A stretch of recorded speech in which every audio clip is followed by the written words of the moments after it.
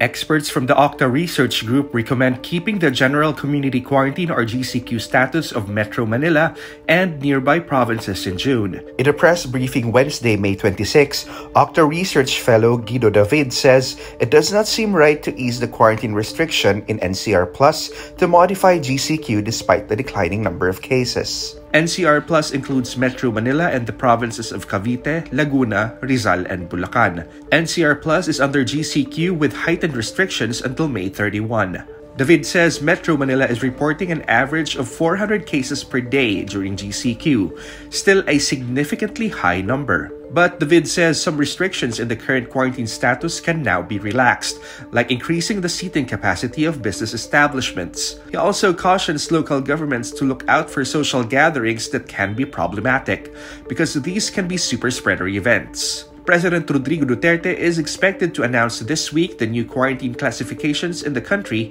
for the month of June.